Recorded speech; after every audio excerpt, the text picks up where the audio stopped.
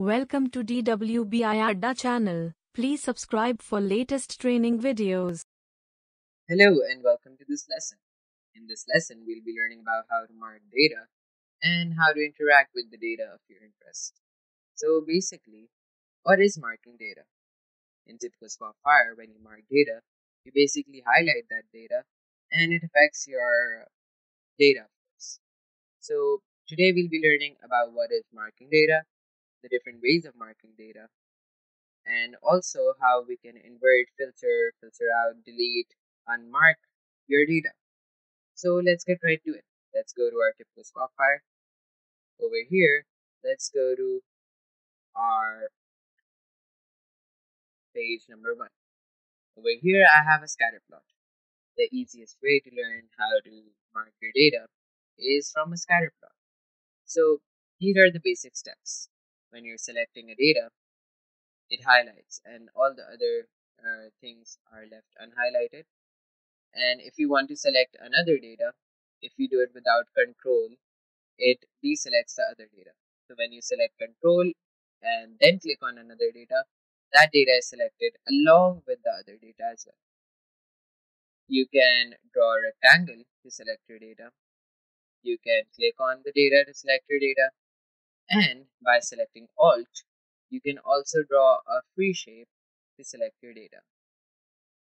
If you want to select one part this way and you want to select another part by rectangle, just click on control and then select it.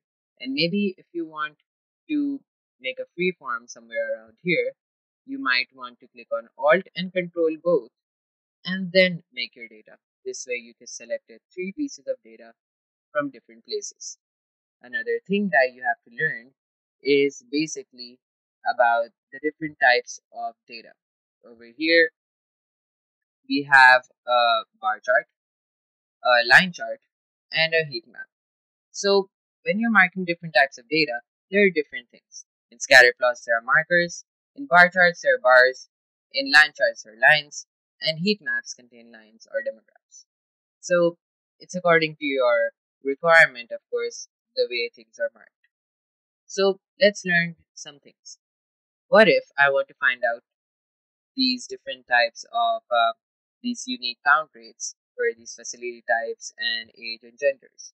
So what I do is maybe work on these and go to the marked rows and invert them to see the rows that are not uh, these high and their level. Another thing that we can do is select these rows and if we want to concentrate on these rows, what we can do is mark these and filter to the data. So these data are filtered. So as you can see, they're not deleted they're still there, the 180 rows, but 89 out of the 180 rows are filtered.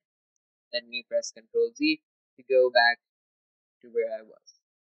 Another thing that you can do, as I showed you before, is to go and filter out, which basically shows us the level data.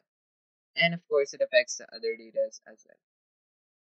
So if you click somewhere else on a place that's empty, it deselects the data and when you click on it, it selects it. So the easiest way to deselect your data is by clicking on a place where there's nothing. Another thing that you can do is go to your macros and click unmark if you don't want to mark them. There's an option where you can delete your data from the macros as well by clicking on delete. This will delete macros. However, I do not want to do that, so I'll just cancel that. So basically, why mark data? Maybe what I want to do is work with this certain type of data and the other data is irrelevant to me. That's why we might want to mark our data. So there's a lot of things that you can do. You can mark your data, you can go to file and there are options over here for our macros where you can unmark and uh, use the options as in the settings from the edit options above as well. So there's a lot of things you can do with your markers. You can uh, basically use separate uh, columns for your markers, add bookmarks, and make them tags as well. That's of course something for you to toggle around with and see according to your requirements. But this is basically how to mark your data, demark it, filter them, invert them, delete them, etc. One last important thing that you need to know about marking data is how it affects the colors. So over here, I've marked the data. It did not affect the colors.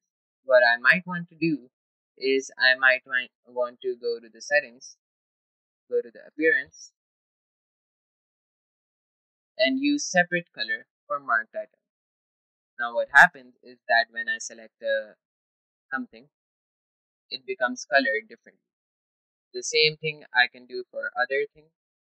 I can uh, use separate color for marked items. So like if this is marked, this is marked as well. The same for this as well. Go to appearance, use separate color, close. So if I select this, as you can see this was selected. Currently it's already blue so it doesn't really make a difference. But what if I want to select this? It selects this whole data and selects different parts of this data.